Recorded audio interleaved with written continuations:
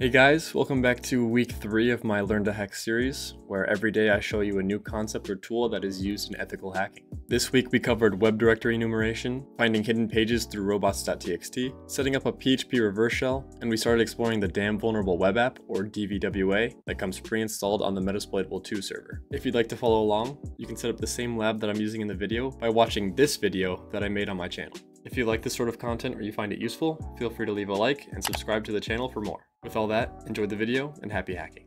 When we're pen testing a web server, it's important to find as many web pages and directories as we can, because any one of them could have a vulnerability that we could use to get a foothold. Sometimes these web servers will have hidden pages that are only meant to be seen by developers or IT staff for things like administration. One way we can discover these directories is through a tool called FUF.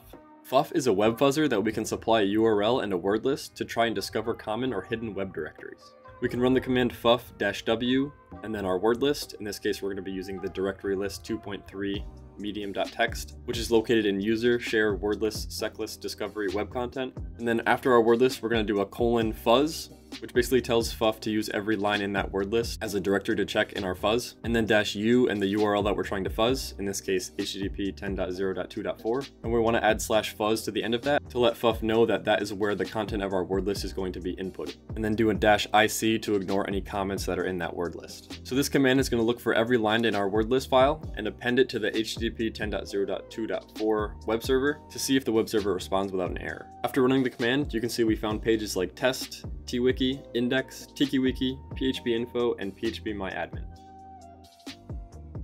Last video we fuzzed for hidden web directories using FUF. Another tool that we can use that does a similar thing is GoBuster. GoBuster is a directory file and DNS busting tool that we can use instead of Fuff to discover hidden directories on a web server. To run GoBuster, we can type the command gobuster dir, which puts it in directory mode, dash u and then the URL of our web server, dash w and then the path of our word list, and then dash t and the number of threads we want to run for the scan. So in our example, I'll use gobuster dir u http 10.0.2.4 slash w user/share/wordlist/dirb big.txt -t 50. And as you can see, we found many hidden directories on our Metasploitable 2 server. We could then check out those directories in a web browser to see if we find anything interesting. If we just visit the index page or default page of our Metasploitable 2 server, we'll see some of the directories that we discovered in our FUF and GoBuster scans. Another easy way to discover web pages that the developer probably doesn't want you to know about is by checking the robots.txt file. The purpose of the robots.txt file is to manage how search engines and web crawlers can access the website, and oftentimes if we check the robots.txt file of a website, we'll be able to find interesting pages such as admin portals and other sensitive pages. To see an example of this, let's go to the matilde slash robots.txt file to see the robots.txt file of the matilde website on our Metasploitable 2 server. Here we see multiple directories that the web crawlers are not allowed to crawl. This includes the directories passwords, config.inc, classes, JavaScript, OWASP ESAPI-PHP, and documentation. The passwords directory sounds interesting, so let's check it out. In the passwords directory, we're brought to a listable directory with an accounts.txt file in it. And inside that accounts.txt file, we see multiple usernames and passwords, and what looks like to be security question answers for some user accounts on the web page.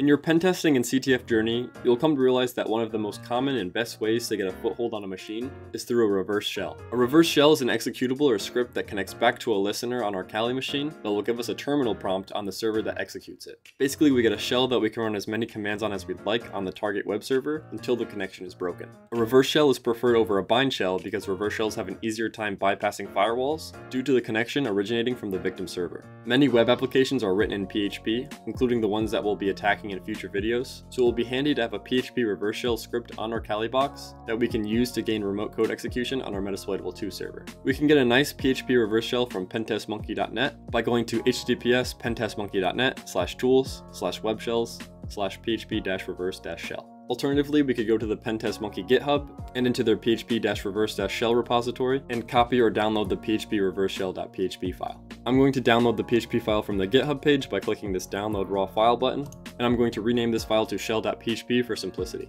Now we must open the reverse shell file in a text editor of our choice, and I'm going to use Visual Studio Code, but you can use whatever you want. Once it's open, if we scroll down a little bit, there are two lines that we have to change to get it to work on our system. The first line is this IP address, which we want to set to the IP address of our Kali Linux box. In my case, it will be 10.0.2.5. The second thing we want to change is the port, which we can pick any port between 1024 and 65535, as these ports do not require sudo privileges to open. I will choose port 5555. Once that is done, any PHP web app that runs this PHP file will connect back to our Kali Linux IP address over port 5555 and give us a reverse shell. An awesome web application that comes installed on the Metasploitable 2 server that we can practice our hacking techniques on is the Damn Vulnerable Web Application, or DVWA. We can access the DVWA by going to the IP address of our Metasploitable 2 server and then slash DVWA. When we go there, we're met with a login page that we can log in using the credentials admin password. Once we're logged in, we're met with a home page and we can see a bunch of different tabs on the left that correlate to different attacks. Each tab is a separate web page that we can practice that hacking technique on. For example, if we click on the command execution tab, we can see that we have an input bar that is asking for an IP address for us to ping, and the goal would be to get remote code execution on the server through this input bar. We can go down to the DVWA security tab and lower or raise the difficulty of the attacks by changing the security level. We could also enable PHP intrusion detection system to increase the difficulty of getting our exploit to run. For these demonstrations, we're going to set the security level to low and hit submit, and you can see that this is reflected in the bottom of the web page as well. Feel free to try out any of the tabs on the Damn Vulnerable web app before I cover them in a future video.